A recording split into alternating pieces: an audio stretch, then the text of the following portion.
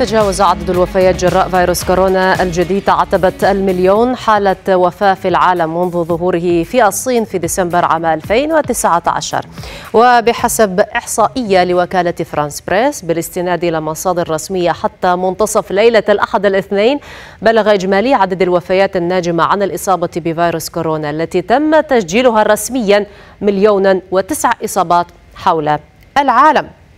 الولايات المتحدة ما زالت حتى الآن تتصدر قائمة الدول الأكثر تسجيلا لعدد الإصابات مسجلة أكثر من سبعة ملايين إصابة. فيما تليها الهند التي سجلت حتى أمس أكثر من خمسة ملايين إصابة ومن بعدها البرازيل بأكثر من أربع ملايين إصابة. لكن خبر الوصول إلى مليون وفاة كان هو الأبرز منذ بدء انتشار وباء كوفيد-19 واحتل صدارة الحديث على مواقع التواصل الاجتماعي أمس. فمن جهة أثار تخوفا لدى الكثيرين من مستقبل هذه الأزمة المظلمة ومن جهة أخرى شكل دفعة في الشارع للدعوة إلى الإسراع في إيجاد اللقاح والعودة للحياة الطبيعية. نتوسع في الحديث أكثر مع ضيفنا. ينضم إلينا الآن من لندن استشاري علم الباثولوجي الدكتور ضياء الدين كامل. دكتور ضياء أهلا بك. معنا يعني عندما نتحدث عن مليون وفاة أو تخطي عدد الوفيات بسبب فيروس كورونا مليون شخص. كيف يجب أن نقرأ هذا الرقم؟ ما الذي طبعا يعنيه؟ نعم هو رقم عالي طبعا لم يحدث من قبل كفيروس جائحة أثرت على البشرية مثل هذا الرقم من قبل. يعني في العصر الحديث طبعا مع تطور العلم ووجود اللقاحات ووجود مضادات الفيروسات والتطور في الطب والطب اللي هو العناية المركزة وهكذا يعتبر رقم كبير. ولكن هو الملحوظ في الآونة الأخيرة هو انتشار عدد المصابين وليس انتشار وليس كثرة عدد الوفيات، يعني عدد المصابين هو اللي انتشر أو أو كثر بشكل ملحوظ في آخر ثلاث أربع أسابيع خاصة الأسبوع الماضي. وطبعا هو هذا الملحوظ لأن الفيروس أصبح سريع الانتشار ولكن ليس بنفس الحدة كما في الموجة الأولى أو في بدايته في شهر مثلا مارس في أوروبا على سبيل المثال. طبعا عوامل انتشار الفيروس ترجع إلى عوامل رئيسية هي الفيروس نفسه حصل فيه طفرة زي ما قلنا.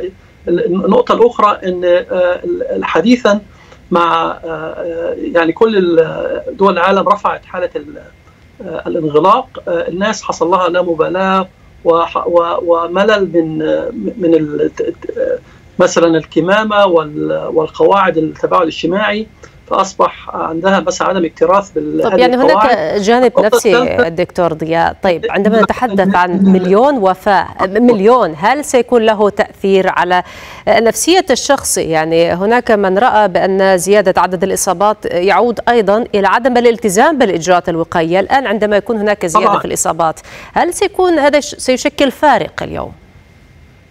نعم هو هو من الناحية الطبية زي ما قلت لحضرتك إن هو في زيادة في عدد الإصابات ولكن عدد الوفيات قليل جدا في الآونة الأخيرة. معظم عدد الوفيات المليون كانوا من بداية الأزمة. حتى الآن نعرف تماما كيف نتعامل مع المرض. الفيروس نفسه حدة الفيروس في حدوث مثلا مضاعفات أو المريض يتطلب إنه يخش العناية المركزة لا تحدث كثيرا الآن. لو لو مثلا في عندنا في لندن المستشفيات في العناية المركزة ليس بها حالات كوفيد 19 كثيرة بسيطة جدا بالمقارنة ببداية الأزمة. الموضوع اللي هو المهم كمان الفحص أصبح متاح في معظم الدول. فهذا ازداد من عدد الاصابه الناس اللي هم ليس لهم أعراض ولكن يحملون الفيروس. طبعا هذا كل هذه كلها عوامل أدت إلى زيادة عدد المصابين. طيب. آه الفيروس حصل له طفرات جعلته مستضعف ولكن سريع الانتشار.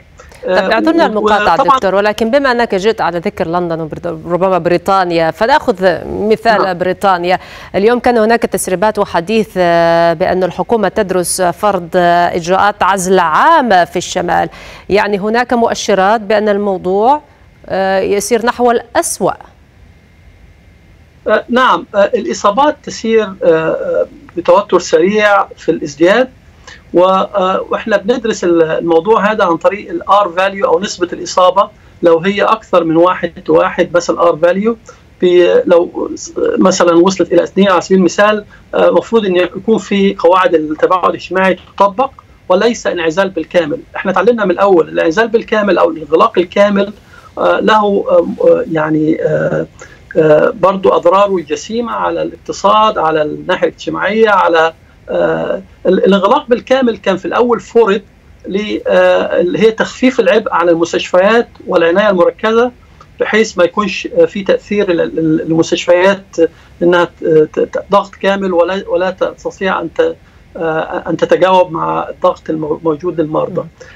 بس في بعض المقاطعات في بريطانيا الآن العظمى بريطانيا العظمى فيها بعض المقاطعات فيها انغلاق وليس شبه كامل، طبعا يعني ممكن قريب جدا من الأول ولكن طبعا إحنا مفهومنا للأزمة الآن اختلف فما فيش انغلاق شبه كامل وأعتقد إن شاء الله دكتور. هو بس انغلاق أنت متفائل جدا يعني لكن كما تابعنا قبل قليل من ردود الفعل والتعليقات هناك من يشعر بالقلق والخوف من المرحلة القادمة خاصة مع ازدياد عدد الإصابات والأرقام الوفيات عندما نتحدث عن مليون. ماذا يمكن أن نقول لمن هو فعلا قلق من المرحلة المقبلة؟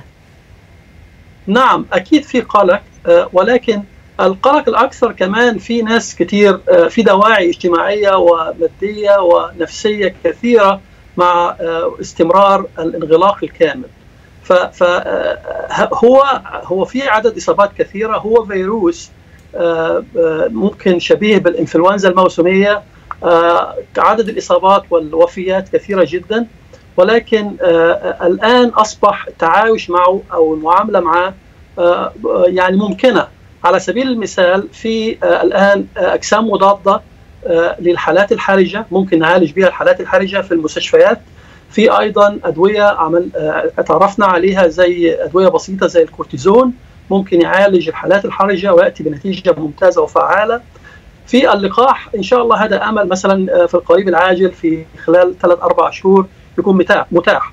ولذلك يعني طبعا الناس المتفائلين إن شاء الله نزيدهم تفاؤل. الناس المتشائمين في أضرار جسيمة للانغلاق. مش عاوزين نعمل انغلاق لأن م. في ناس هتتضرر أكثر بالانغلاق من وجود الفيروس نفسه. كلنا عايشين في فيروسات طول عمرنا عايشين في فيروس البرد والإنفلونزا والانفلونزا الموسمية. شكرا دكتور. شكرا جزيلا. شكرا لك دكتور ضياء الدين كامل استشاري علم الباثولوجي. كنت معنا من لندن.